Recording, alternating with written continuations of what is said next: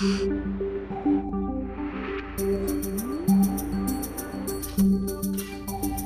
ar, o programa Bom Dia Ministro. Olá, amigos em todo o Brasil. Começa agora mais uma edição do programa Bom Dia Ministro. Eu sou Kátia Sartório. Estamos hoje com a ministra Luísa Bairros, da Secretaria de Promoção da Igualdade Racial. O programa Bom Dia Ministro é coordenado e produzido pela Secretaria de Promoção pela Secretaria de Comunicação Social da Presidência da República em parceria com a EBC Serviços. Na pauta do programa de hoje, a efetivação do Estatuto da Igualdade Racial e também os 10 anos da Secretaria de Promoção da Igualdade Racial. Bom dia, ministra Luísa Bairro, seja bem-vinda. Bom dia, Kátia, e bom dia a toda a rede de emissoras desse programa. Ministra, já está na linha a Rádio Gazeta 1260M de Maceió, Alagoas. Rogério Costa, bom dia para você. Bom dia, bom dia, Kátia, bom dia a todos da rede, a nossa saudação à senhora Luísa Bairros. Bom dia, ministra, falando daqui da capital alagoana, Maceió. Já está em curso aqui na nossa capital a primeira etapa, ministra, do, do, Plano de Prevenção à Violência contra a Juventude Negra, intitulado Juventude Viva. Estão sendo investidos aproximadamente 70 milhões de reais. E o projeto piloto atinge não apenas a capital do estado, Maceió, mas também os municípios de Arapiraca, União Palmares e Marechal Deodoro. Dois motivos foram responsáveis pela escolha da, do estado como e Maceió como a primeira cidade a receber o plano. Primeiro, uh, por ocupar a segunda posição entre os 132 municípios que concentram mais de 70% dos homicídios registrados no país. E segundo, por ter sido também a primeira cidade a abrigar o programa Brasil Mais Seguro do Ministério da Justiça. Como a senhora avalia os passos iniciais da implantação desse programa aqui em Alagoas? Ah, bom dia, Rogério. A, a, nossa entrada em Alagoas com o, o Plano Juventude Viva, ela é muito importante para poder definir é, quais são os passos que devem ser dados nos demais municípios que nós deveremos atingir no Brasil. É, são no total 132 municípios que são responsáveis por 70% é, das mortes é, de jovens negros no país. O que a experiência de Alagoas tem nos mostrado é, em primeiro lugar, que é preciso, para que o plano se implemente, uma participação muito ativa é, da sociedade civil, é, do movimento negro local e das organizações juvenis. O segundo aspecto tem a ver com a criação é, de uma rede que inclua os poderes de justiça é, de maneira que os casos, possíveis casos de violência, eles possam ser é, tratados por essas instituições e possam ser é, investigados. E terceiro lugar, mas não por ser menos importante, é o empenho é, do governo do estado e dos governos municipais no sentido de colocar todas as secretarias que são contraparte é, dos principais ministérios do programa para trabalhar é, diretamente naquelas ações que foram selecionadas. Você tem outra pergunta, Rogério Costa, da Rádio Gazeta M de Maceió? Naturalmente, Kátia. E a minha segunda pergunta, sem querer criar polêmica, eu pediria que a senhora externasse o seu ponto de vista no Bom Dia Ministro de hoje sobre a indicação do deputado Marco Feliciano, do PSC de São Paulo, para a presidência da Comissão de Direitos Humanos da Câmara dos Deputados. Existe hoje uma grande corrente contra a permanência dele à frente desta comissão, ministra.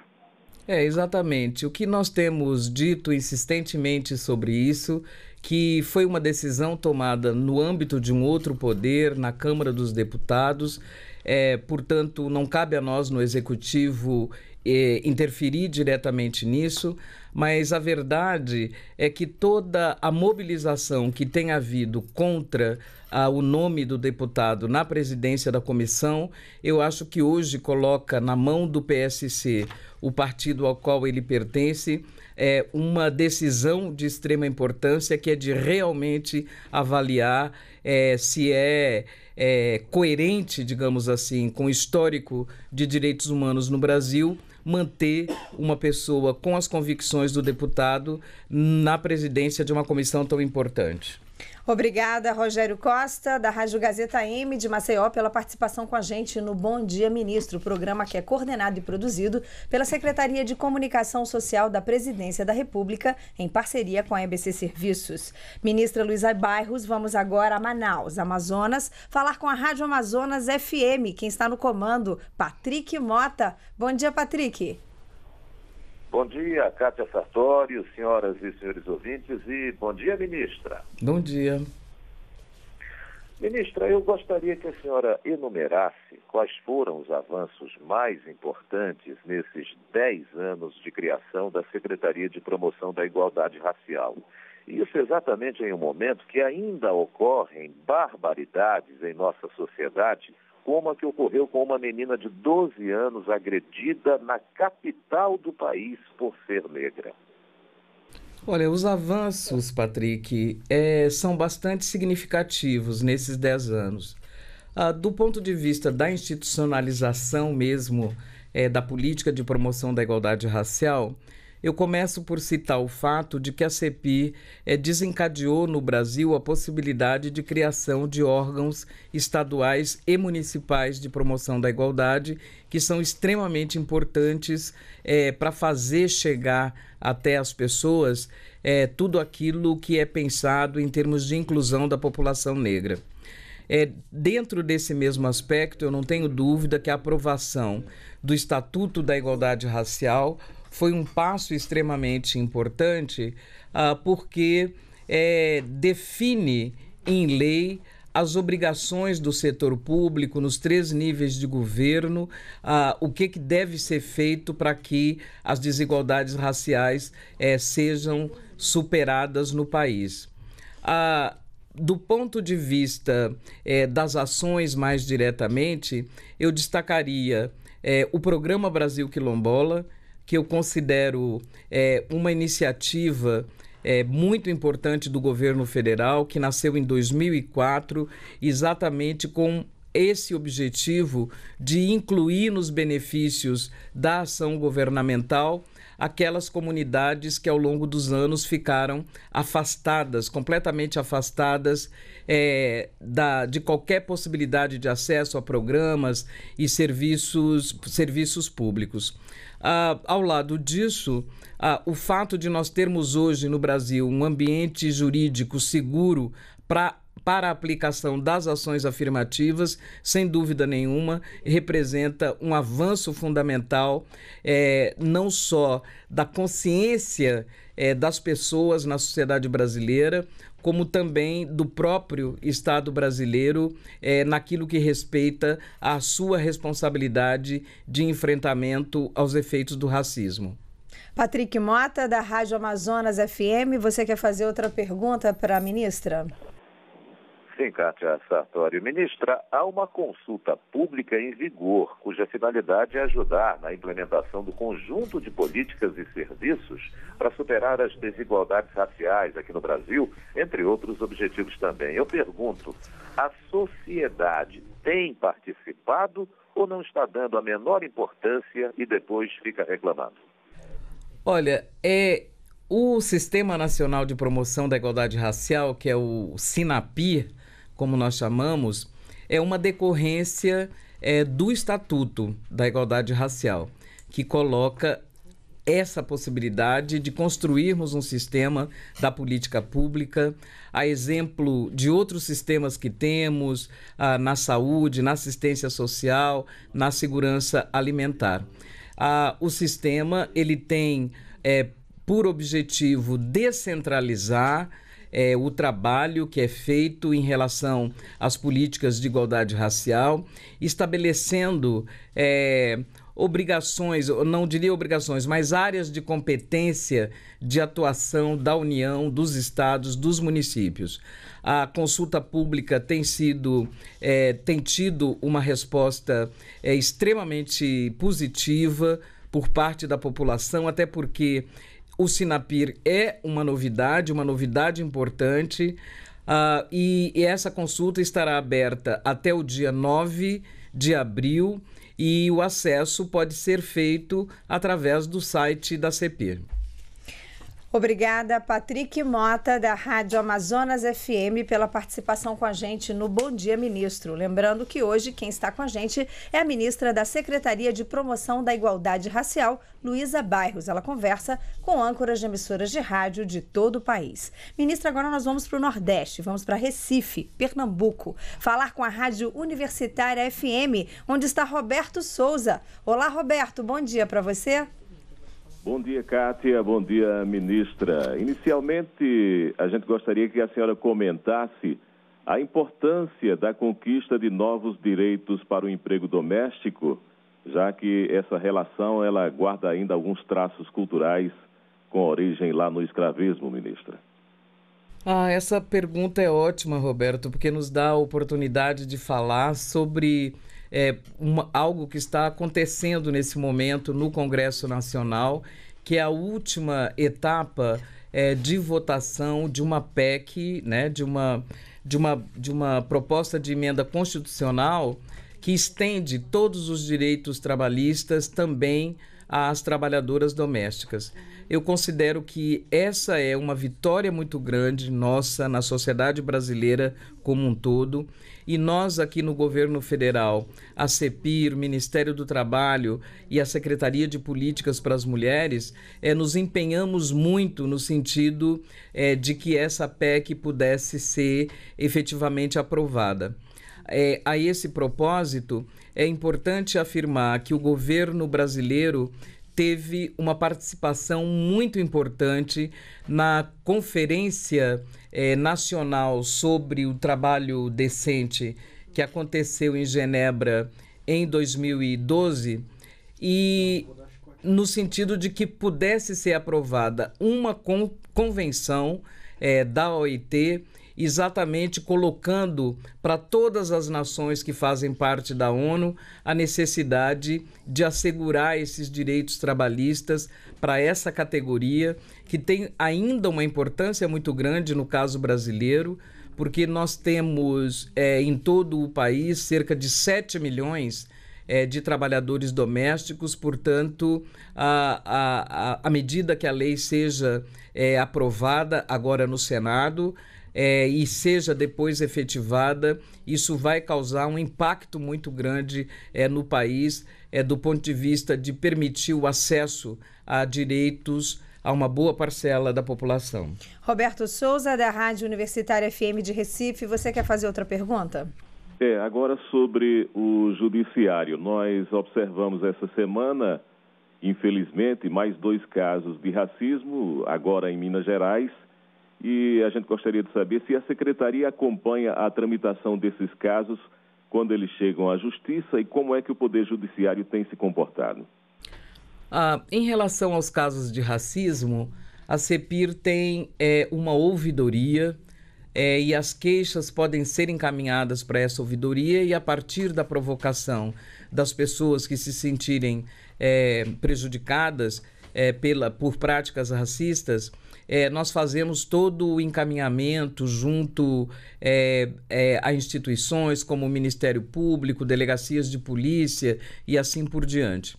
Ah, o que nós temos observado, e eu tenho dito com frequência, é que nós temos, na verdade, no Brasil, um processo em que a denúncia dos casos de racismo tem aumentado, não porque crescem os números de, o número de casos, mas porque, sem dúvida alguma, as pessoas passaram a ter mais confiança é, nas instituições que podem é, é, encaminhar esses casos, as pessoas passaram a ter uma consciência muito maior de quais são os seus direitos, é, como que elas se colocam enquanto cidadãs é, na sociedade e, portanto, não permitem mais serem é, discriminadas. Ah, esses casos que você citou são casos emblemáticos, são casos é, extremamente graves e que é, serão, obviamente, objeto ah, do trabalho de instituições como essas que eu citei antes, e a nossa ouvidoria continua é, disponível para quem quiser apresentar suas queixas. É o nosso telefone na ouvidoria é o 61 2025 7000. Obrigada, então, a Roberto Souza, da Rádio Universitária FM de Recife, que participou com a gente do Bom Dia Ministro. Vamos agora a Belo Horizonte, Minas Gerais, falar com Kátia Gontijo, que está na Rádio América. Olá, Kátia, bom dia. Bom dia, Kátia. Bom dia, ministra Luísa Bairros.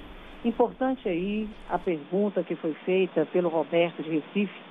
Nós estamos aqui indignados em 10 anos da criação da Secretaria de Política de Promoção de Igualdade Racial, infelizmente, ministra, nós ainda vivemos esse mito da democracia racial.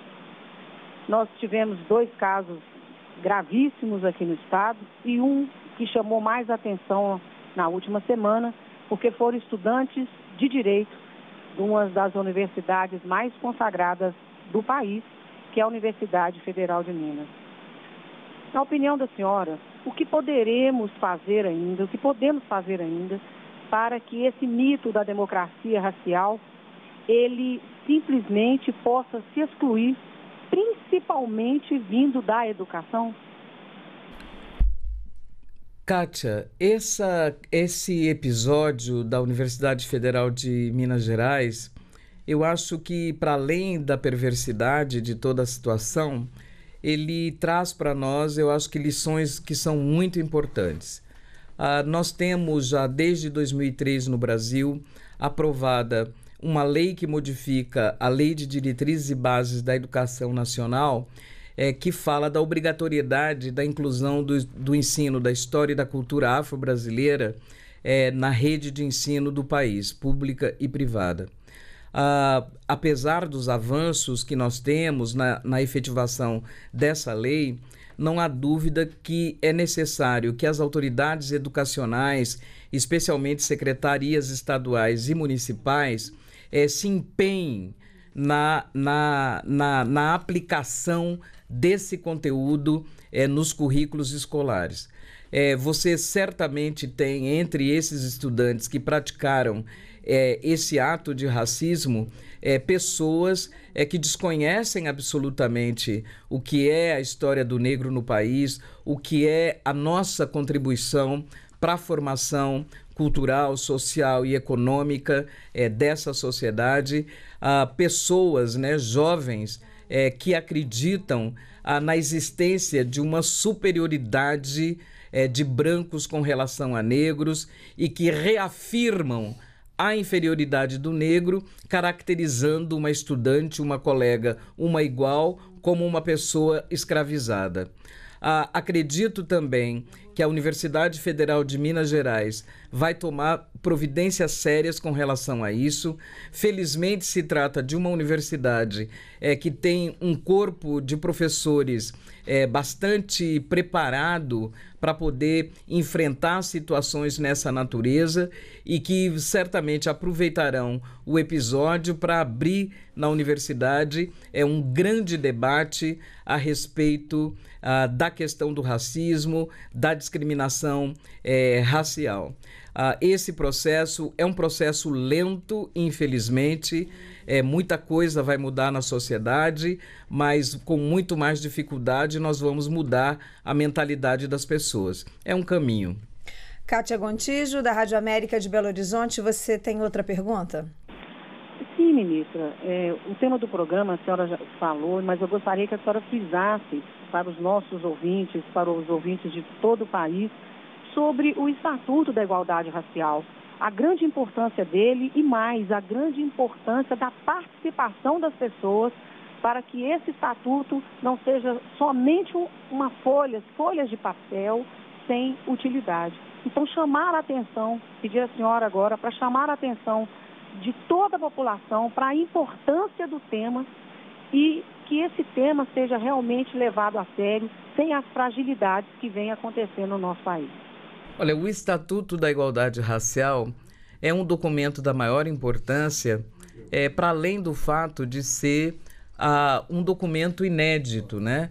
Uh, desconheço outro país que tenha é, reunido é, num documento legal é, as obrigações do setor público para que é, as desigualdades raciais sejam superadas. É muito importante também é, que as pessoas é, levem em conta, conhecendo esse conteúdo, passem a cobrar das instituições a aplicação daquilo que está escrito. Porque eu acho que essa é a única maneira que nós teremos de fazer com que essa lei tenha o poder é, de modificar a vida das pessoas e não apenas das pessoas negras, mas modificar a nossa vida na sociedade como um todo. Porque eu acredito, e nós na CEPIR temos insistido muito nisso, que a igualdade racial não é algo que beneficia a um grupo, é algo que certamente uh, tem efeitos muito positivos para a sociedade como um todo. Eu acho que é dessa forma que nós vamos conseguir, inclusive, criar é, ambientes que sejam saudáveis, é, seguros e confortáveis para qualquer pessoa, para que estudantes negros não se sintam é, tratados de forma diferente, é, como, por exemplo, aconteceu aí no caso ah, da UFMG. É, o estatuto, eu acho que ele tem essa possibilidade é, de criar uma sociedade nova, até porque ele coloca responsabilidades é, nas mãos de gestores e dirigentes públicos. Obrigada, Kátia Gontijo, da Rádio América de Belo Horizonte, pela participação. E agora vamos, ministra Luísa Bairros, a Teresina, no Piauí, conversar com a Rádio Pioneira AM de Teresina, onde está Gil Costa. Olá, Gil, bom dia. Gil Costa. Daqui a pouco a gente tenta o contato com a rádio pioneira AM de Teresina, no Piauí. Vamos então a Santo Ângelo, no Rio Grande do Sul, falar com a rádio Cepete Araju. Cepete Araju, onde está Luiz Queiroz. Tá certo o nome, Luiz Queiroz? Bom dia para você. Bom dia, Kátia Sartori. Bom dia, amigos da rádio EBC. Pessoal aí no estúdio com a ministra Luísa Bairro. Bom dia, ministra. Bom dia, bom dia, Luiz. Aqui da região das Missões, Rádio Cepete Araju, então, contigo, participando hoje. E nós gostaríamos de te perguntar o seguinte, sobre a PEC dos trabalhadores domésticos. Qual o alcance dessa medida na população negra do país, hein, ministra? Olha, Luiz, o alcance eu diria que é muito grande. Porque se nós consideramos que existem no país cerca de 7 milhões de trabalhadores domésticos, é, mais de 90% uh, ah, desses trabalhadores são mulheres. E entre essas mulheres, a maioria absoluta é de mulheres negras. Então, isso é, vai contribuir muito para reforçar um processo que já vem acontecendo é, no Brasil em função de várias políticas que foram adotadas pelo governo federal, que é nos, na direção da formalização do trabalho. É, nós certamente, ah, com a expansão é, dos direitos para todos os trabalhadores domésticos, é, teremos é, muito mais é, é, domésticas contribuindo com a previdência social, empregadores assinando a carteira de trabalho e por aí vai.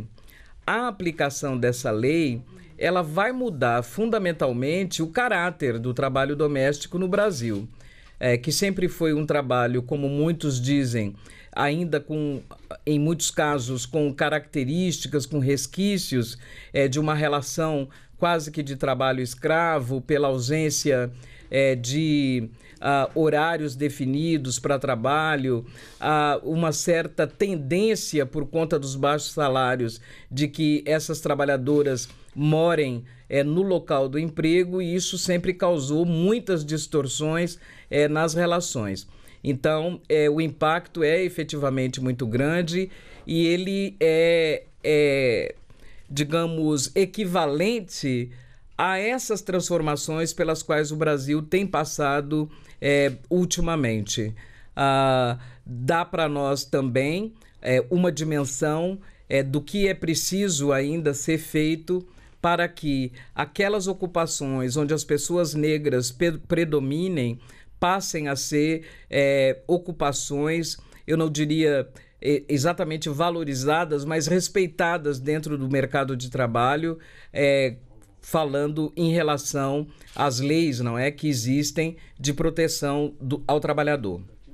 Luiz Queiroz, da Rádio Cepete Araju, de Santo Ângelo, Rio Grande do Sul. Você quer fazer outra pergunta? Sim, eu gostaria de perguntar, Kátia, perguntar para a ministra Luísa sobre a implantação de programas, essas ações da Secretaria de Políticas de Promoção da Igualdade Racial, como é que os municípios podem ter acesso a esses programas, ministra? Olha, isso é, na verdade, muito simples, Luiz, muito simples.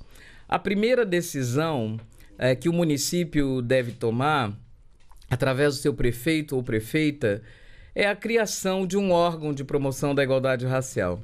Isso é muito importante porque, a partir disso, você cria dentro da administração municipal um espaço onde essas questões podem ser pensadas e onde essas questões podem ser discutidas é, com as demais secretarias.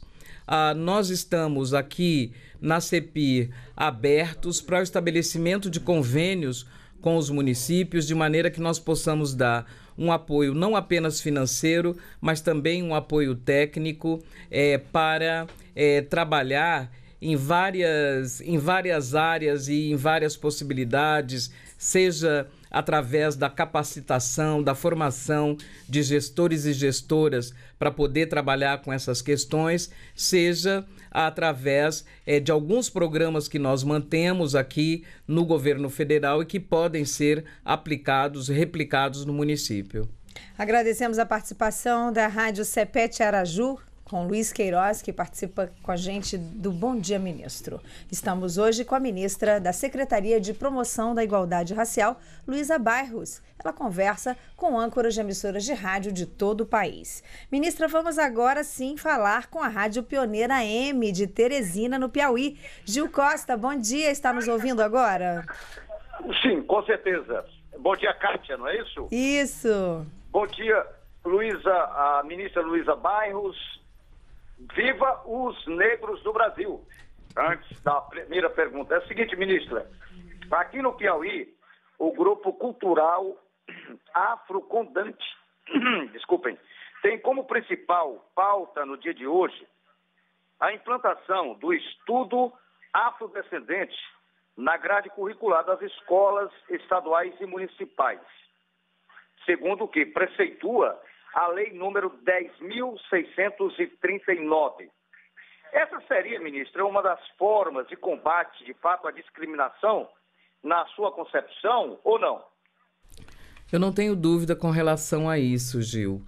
E até cumprimento essa organização aí do Piauí que está tomando essa iniciativa. Uma iniciativa, inclusive, muito coerente com todo o trabalho que o movimento negro piauiense uh, vem desenvolvendo ao longo dos últimos anos. É, essa lei que você mencionou, a 10639 de 2003, na verdade é uma lei que modifica a lei de diretrizes e bases da educação nacional, que tornando obrigatório o ensino da história e da cultura é, afro-brasileira. É, nós temos insistido muito é, da importância é, das autoridades municipais e, é, e estaduais é, da educação que tomem em suas mãos essas leis, assim como o professorado já está fazendo no Brasil, mas que institucionalize isso, porque ah, na medida em que os dirigentes tomam essa decisão, então você vai criar muito mais facilidades para poder é, capacitar os professores para trabalhar com esses conteúdos, para escolher um material didático a ser utilizado é, nas redes municipais e estaduais. É, um material que seja coerente, não é, com esses conteúdos que a lei requer um material que fale, portanto, é, na história da África, na história do negro, do negro no Brasil e sua contribuição para a nossa formação política, econômica e social. Ah, eu acho que essa é uma luta importante e que ela tenha sido é, tomada como símbolo desse dia de hoje, o 21 de março, que é o Dia Internacional pela Eliminação da Discriminação Racial, eu acho que isso é mais apropriado ainda. Gil Costa, da Rádio Pioneira M de Teresina, no Piauí. Você tem outra pergunta para a ministra? Perdemos o contato, mas agradecemos a participação da Rádio Pioneira AM de Teresina, no Piauí, que esteve com a gente nessa rede de emissoras que compõe o Bom Dia Ministro. Lembrando que a íntegra dessa entrevista está na nossa página em www.ebcservicos.com.br. Ministra, vamos agora ao Rio de Janeiro conversar com a Rádio Nacional AM do Rio. Marco Antônio Monteiro, bom dia. Bom dia, Kátia. Bom dia a todos os ouvintes do Bom Dia Ministro. Um bom dia especial à ministra Luísa Bairros. Ministra, ah, nós estamos nesse processo, nós estamos nesse processo de consulta pública, exatamente da versão final da regulamentação do Sistema Nacional de Promoção da Igualdade Racial. E eu queria perguntar à senhora, até que a senhora explicasse para nós, o que significa, qual é a importância de se institucionalizar efetivamente uma política de avanço. A gente tem tido exemplos ah, no Brasil, às vezes em nível municipal, em nível estadual e até mesmo na União, em que políticas são implementadas e logo depois uma outra administração chega e como essa política não foi institucionalizada, não está ah, efetivamente como lei, como regulamentação, isso deixa ah, de ser ah, tocado pela administração que chega. Qual é a importância para uma política de igualdade racial no Brasil que essa regulamentação seja feita de modo adequado e que não fique à mercê de uma eventual mudança de orientação governamental? É, obrigada pela sua pergunta, Marco Antônio. É muito importante que as pessoas entendam e principalmente gestores, gestoras, dirigentes públicos, a importância é, da, de, desse debate que nós estamos fazendo no momento com a proposta é, do SINAPI, porque isso coloca a política da igualdade racial é, no mesmo plano é, de organização interna que existe hoje com relação à política de assistência social, a política de segurança alimentar e até mesmo a política de saúde no Brasil, onde você consegue é, definir quais são as competências da União, do Estado e dos municípios na realização é, de algumas ações que são ações é, básicas, fundamentais e que têm que ser aplicadas em todo o país para que isso efetivamente tenha é, uma repercussão, um impacto na vida das pessoas, principalmente das pessoas negras. Um dos requisitos é, para é, a existência desse sistema é que se formem órgãos de promoção da igualdade racial, tanto no nível estadual como no nível municipal.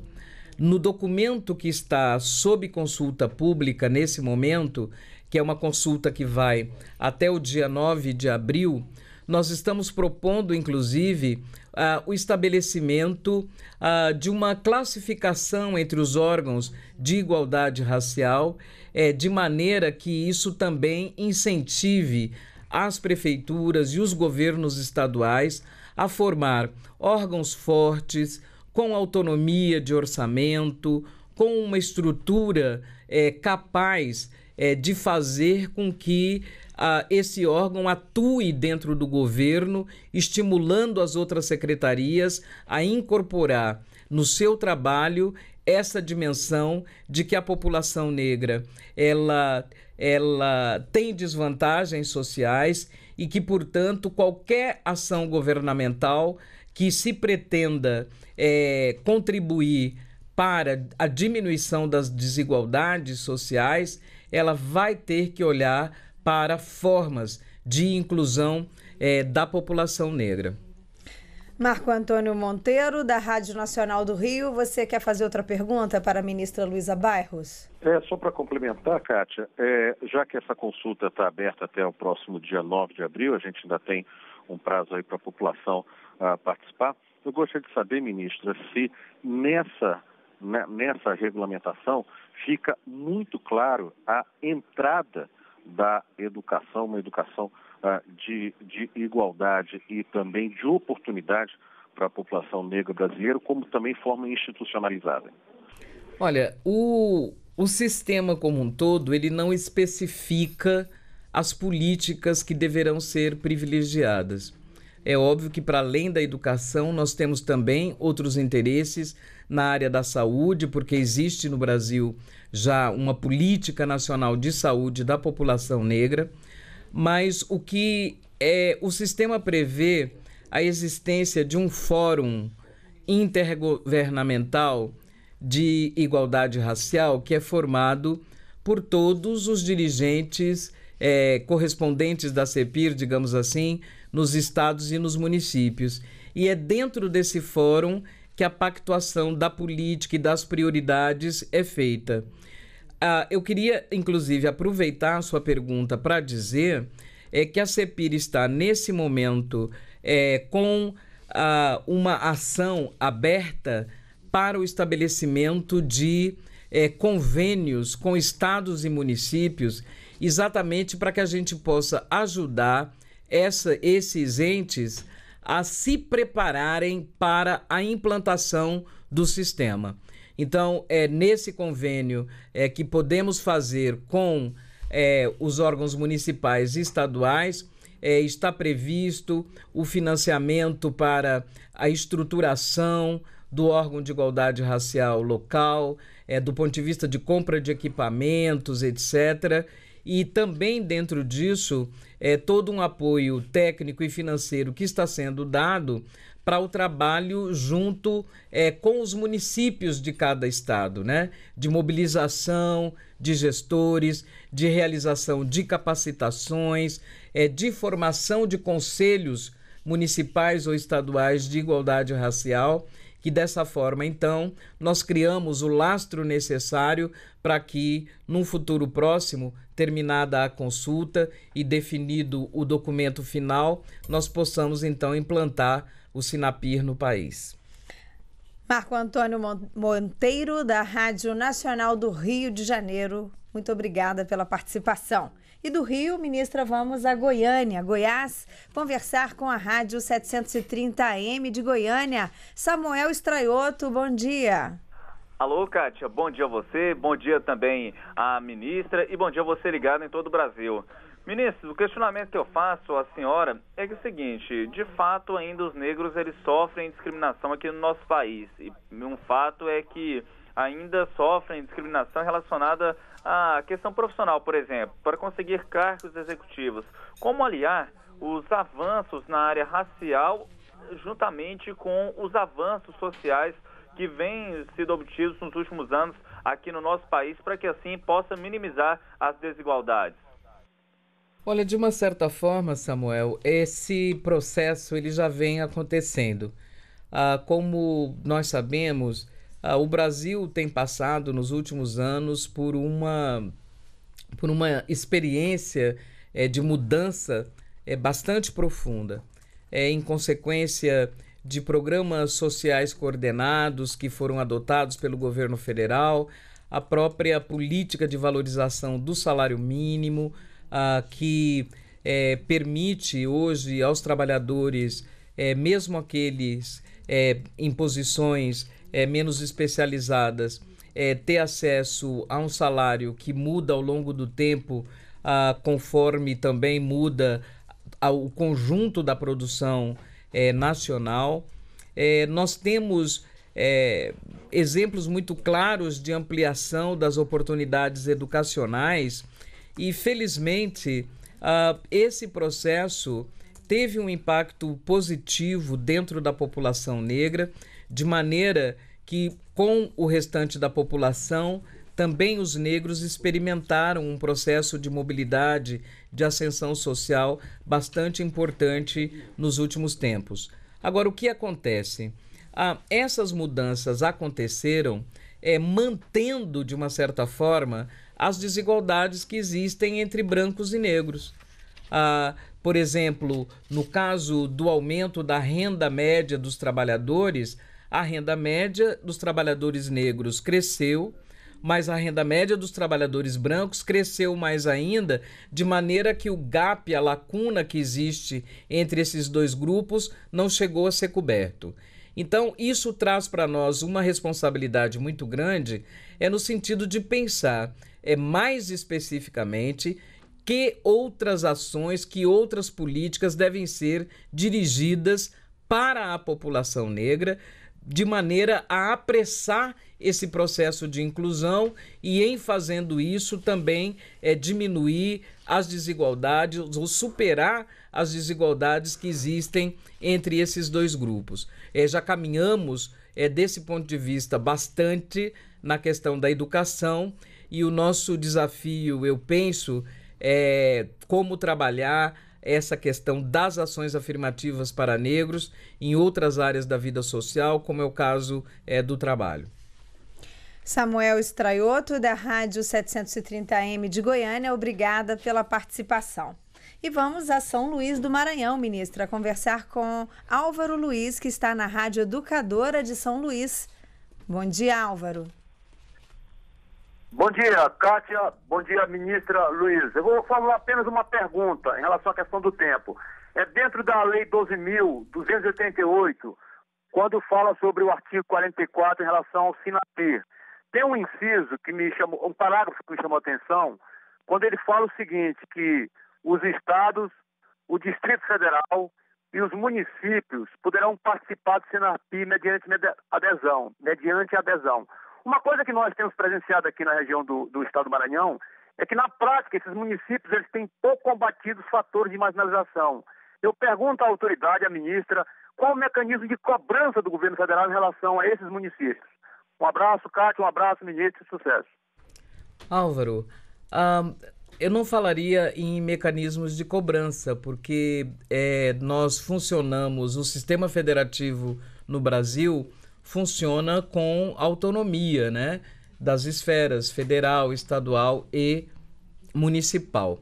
Agora, na medida em que estados e municípios façam a sua adesão ao sistema, quando ele estiver implantado, o próprio sistema cria é, mecanismos, digamos, de, é, de controle de como as ações vão ser realizadas em cada espaço, em cada local. É, nós temos, é, infelizmente, é, no Brasil, é, muitas vezes uma fragilidade muito grande dos órgãos de igualdade é, racial, especialmente quando se trata do município, mas isso pode ser melhorado a, com a existência do sistema, porque você também vai ter, através dele, um processo mais continuado de capacitação desses gestores, dos gestores municipais, que poderão, em função disso, é, trabalhar com muito mais vantagens é, o fato de estarem é, reunidos num fórum, o fato de poderem trocar experiências é, com outras cidades, com outros locais e, com isso, então, melhorar a sua atuação é muito importante nesse sentido que você falou ainda há pouco, é que esses órgãos de igualdade racial é, nos municípios não sejam criados apenas como se fosse um penduricalho democrático. É preciso que, ao serem criados, prefeitos e prefeitas é, deem a esses órgãos de igualdade racial o suporte político necessário para que a pessoa que trabalha ou as equipes que trabalham com essa questão dentro do município possam efetivamente é, sentar de igual para igual com as outras secretarias, apresentar as propostas e fazer com que essas propostas sejam é, realmente executadas. Obrigada, Álvaro Luiz, da Rádio Educadora de São Luís do Maranhão, pela participação com a gente no Bom Dia Ministro. O programa tem hoje a convidada Luísa Bairros, que é a ministra da Secretaria de Promoção da Igualdade Racial. Ministra, vamos agora a Campo Grande, Mato Grosso do Sul, falar com a Rádio Capital FM, onde está Raul Ratier. Olá, Raul, bom dia para você. Muito bom dia, bom dia a todos vocês aí. É um prazer né, fazer perguntas também para a ministra da Secretaria de Promoção Racial, Luísa Bairros. E hoje é um dia muito especial, né? porque hoje, 21 de março de 2013, né? 10 anos de criação da Secretaria. Parabéns para todos aí. E eu quero fazer uma pergunta para a ministra. Aqui no Estatuto de Igualdade Racial, né? É, é, eu gostaria de saber assim, que, quais os tipos de igualdade racial é, é vocês defendem Porque quando a gente ouve assim, ah, é, teve um problema de racial, a gente já imagina que tem alguma pessoa de cor, né, reclamando alguma coisa. Ah, eu gostaria que a senhora explicasse para a gente assim, quais são os tipos né, de, de, de racismo que é defendido. Olha, nós trabalhamos, Raul, na CEPI, é, com, com várias linhas de atuação. A mais importante delas, ou a que tem mais espaço dentro do Ministério, diz respeito exatamente à proposição né, de programas é, que são executados através do Ministério da Educação, da Saúde, da Cultura, etc. Então, é, quando nós trabalhamos com essas políticas e com esses programas, o que nós estamos fazendo é trabalhar contra o racismo institucional, certo? Que é um tipo é, de racismo, vamos dizer assim, fazendo com que é, a, os órgãos, as unidades do governo federal atuem e trabalhem é, com a consciência de que é preciso é, ter uma ação governamental que inclua todas as pessoas sem exceção. Só para lhe dar um exemplo, no caso da saúde, por exemplo, nós trabalhamos sempre ah, no sentido de deixar evidente para os serviços de saúde que existem doenças que são doenças é, prevalentes dentro da população negra ou doenças que têm um curso um pouco mais complicado entre nós. É, questões de diabetes, hipertensão, o, é, o caso de mioma entre as mulheres negras são três exemplos é, de como o sistema de saúde deve atentar para aquilo que é mais específico da nossa população. A outro, o outro tipo de trabalho que nós fazemos através da Ouvidoria Nacional de é, Igualdade Racial é exatamente atender a esses casos de racismo que as pessoas sofrem é, seja no estabelecimento comercial, numa escola, na rua, é, pessoas que têm, dentro das relações que elas estabelecem no dia a dia, algum tipo de episódio onde ela é inferiorizada ou discriminada por causa da sua cor. A ouvidoria da CEPIR, ela recebe essas denúncias e pode é, e o atendimento pode ser feito através do telefone 061 2025 7000.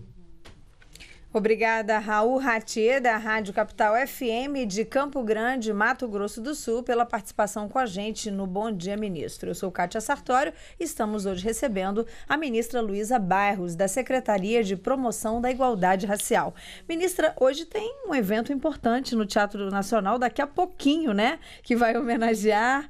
É, algumas pessoas né, importantes na implementação desse marco legal contra o racismo. Queria que a senhora falasse um pouquinho sobre esse evento. Exatamente. Nós teremos um ato para celebrar os 10 anos da CEPI, que acontece aqui em Brasília às 10 horas é, no Teatro Nacional. E à tarde, é, é, essa celebração prossegue com um seminário internacional onde nós vamos discutir um tema central que é a incompatibilidade entre racismo e democracia.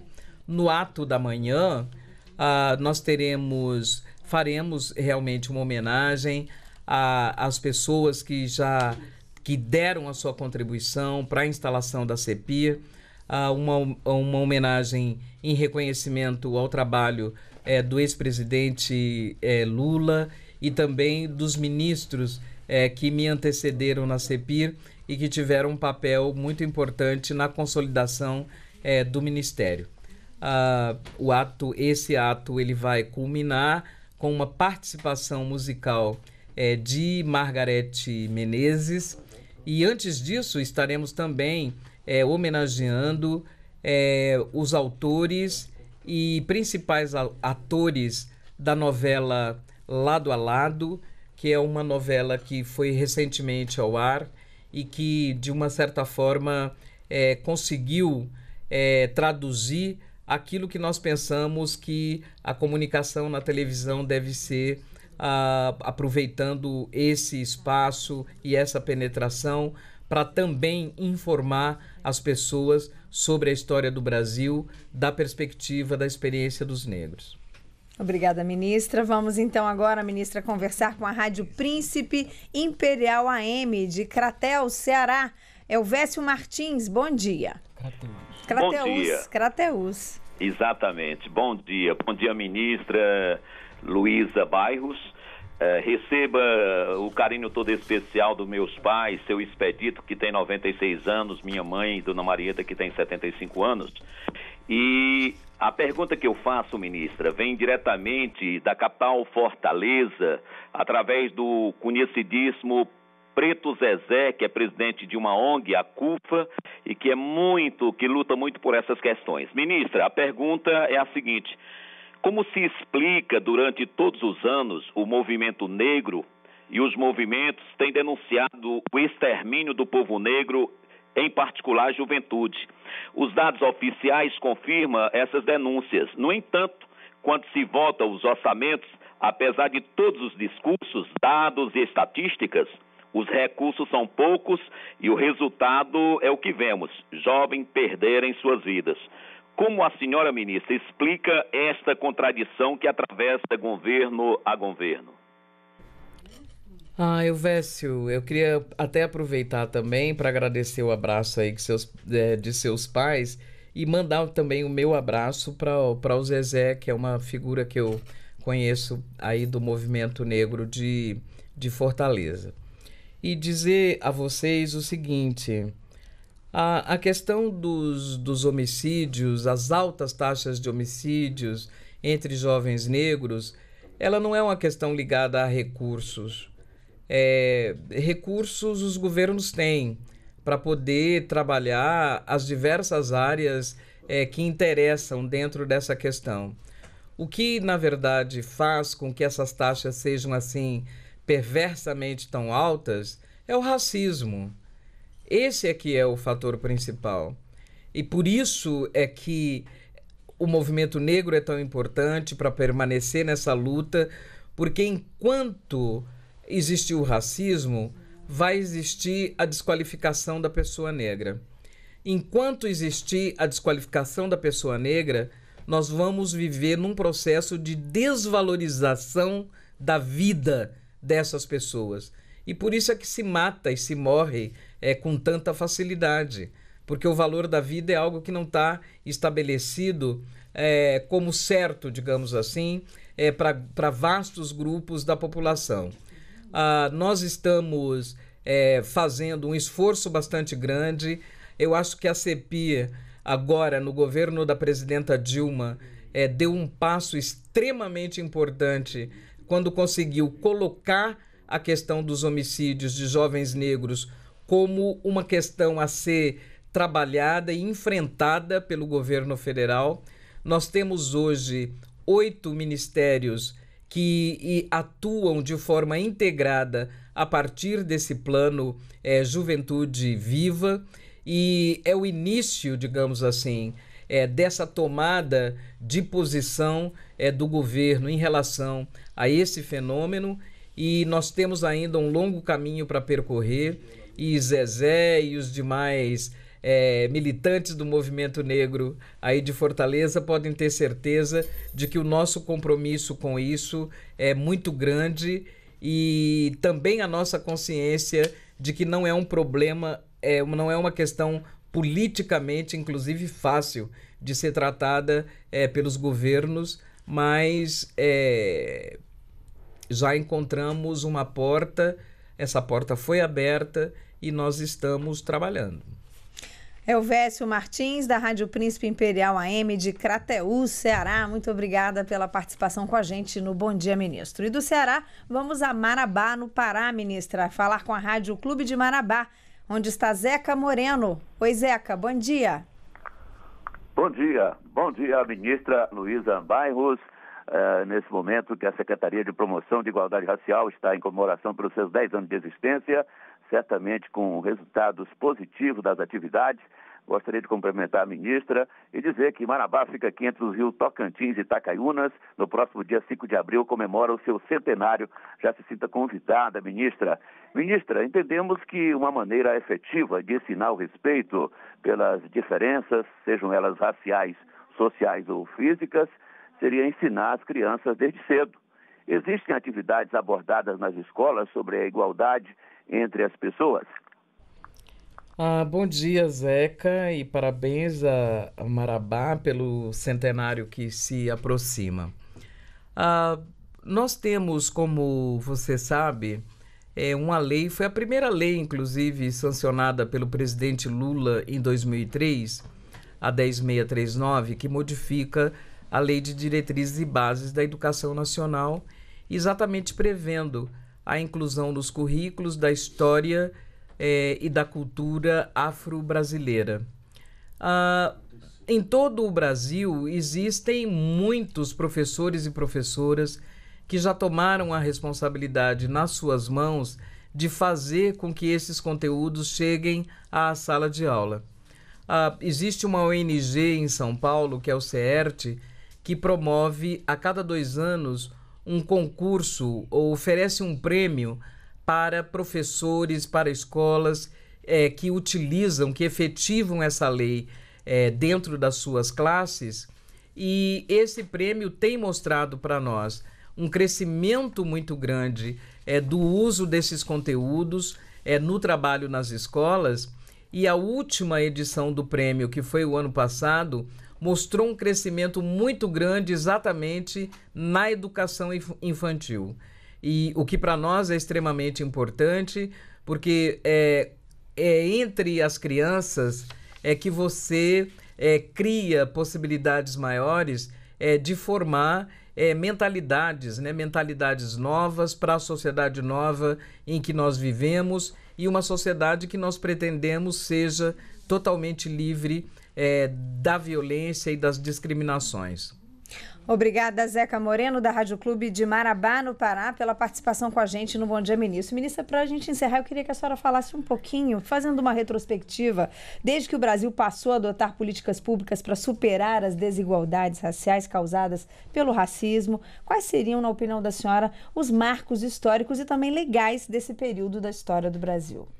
Olha, sem dúvida alguma, entre os marcos legais é, se destaca é, a aprovação, a entrada em vigência uh, do Estatuto da Igualdade Racial. Uh, o outro é que decorre é, do próprio Estatuto e que também tem ligação com a decisão unânime do Supremo Tribunal Federal é, pela constitucionalidade das ações afirmativas, é, diz respeito à chamada Lei de Cotas, que foi sancionada pela presidenta Dilma é, no ano passado e que universaliza o uso das ações afirmativas para o ingresso nas universidades federais e nas instituições técnicas federais de nível médio. Eu acho que esses são os dois marcos legais mais importantes do período e do ponto de vista é, da nossa ação uh, a partir do governo federal é o fato de hoje, uh, dos 30 e poucos ministérios que existem, nós já temos envolvidos é, com programas, projetos é, na direção da igualdade racial, é cerca de 25 ministérios. Eu acho que isso é um resultado bastante importante e o que nós esperamos é que, com o adensamento é, dessas ações, é, a população negra cada vez mais sinta é, os efeitos positivos da ação governamental sobre a sua vida e as suas oportunidades. Ministra Luísa Bairros, da Secretaria de Promoção da Igualdade Racial, muito obrigada mais uma vez pela sua participação com a gente no Bom Dia Ministro. Obrigada a vocês pela atenção. E a todos que participaram conosco, meu muito obrigada e até o próximo programa.